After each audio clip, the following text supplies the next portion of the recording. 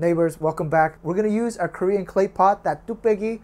We're gonna throw some rice in there, some bacon, of course, then some peas, as well as a few other things, and then just steam everything together. And the best part about it is it only takes about 15 minutes. If you use a rice cooker, you put that thing on in the morning, there's no way. You ain't gonna eat. You're gonna already be off to work. So this breakfast idea, it's a little bit different. This rice steam pot, uh, give it a try.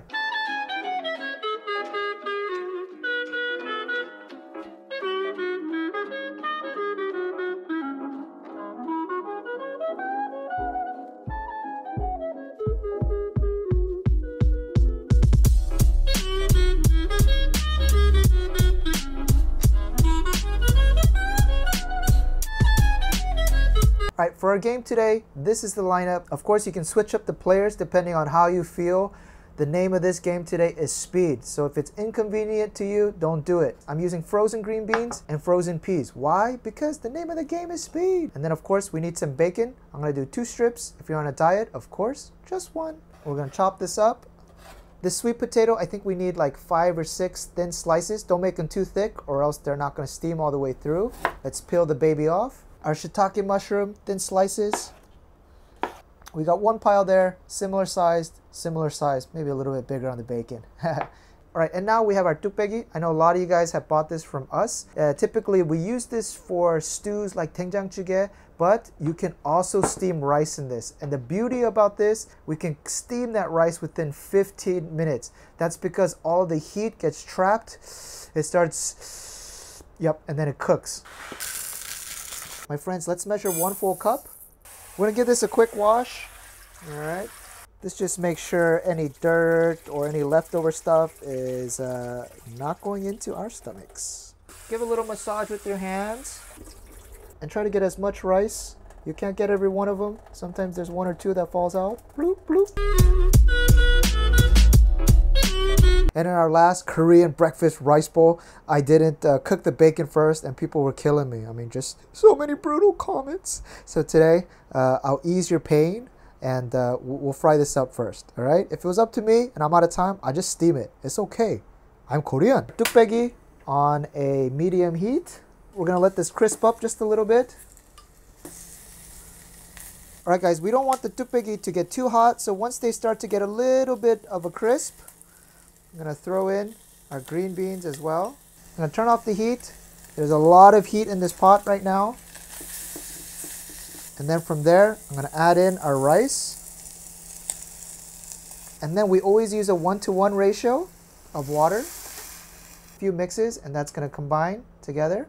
Then like bibimbap, our sweet potatoes to one side, our shiitake mushrooms to the other side, and then my favorite, those peas. All right, simple as that. Now let's put this on a high heat, put the lid on, and now we're gonna wait until we see a geyser coming out. You see a little bit, it's not ready yet. Once you see that whale, all right, and there she goes. From here, count down three minutes. We want three minutes on a high heat. And the cooking tip during those three minutes, if you see that the pot starts spilling over and you see liquid falling out, just reduce it to a medium or a medium high heat, all right, so it doesn't do that anymore.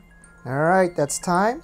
I want you to reduce this to a to a baby flame. No, no, no, an infant flame, okay? Perfect, okay? And then set a timer for 10 minutes on low heat. Depending on the size of your ttukbaegi, the timing might be a little bit different, might be plus or minus a few minutes. Uh, so play with it.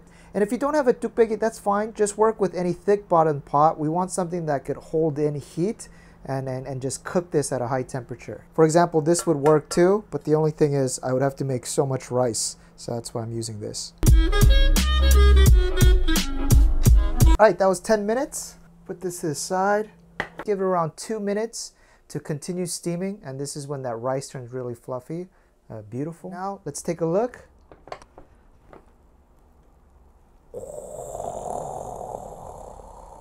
Oh my goodness.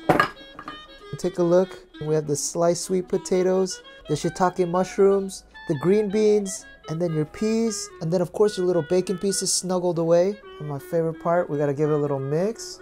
See how it came out? Oh, just beautiful.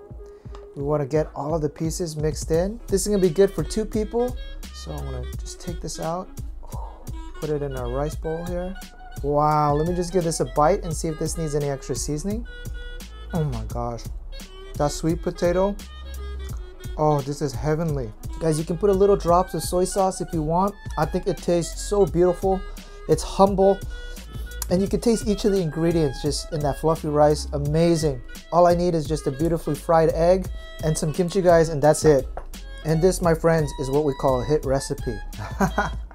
By the way, guys, for this recipe, you want to use short grain rice, aka sushi rice, something that gets sticky. You don't want to use the long grain one. But other than that, feel free to switch up any of the veggies, uh, except for the sweet potatoes. You got to add those. Amazing. Um, I'm simply just uh, mind blown.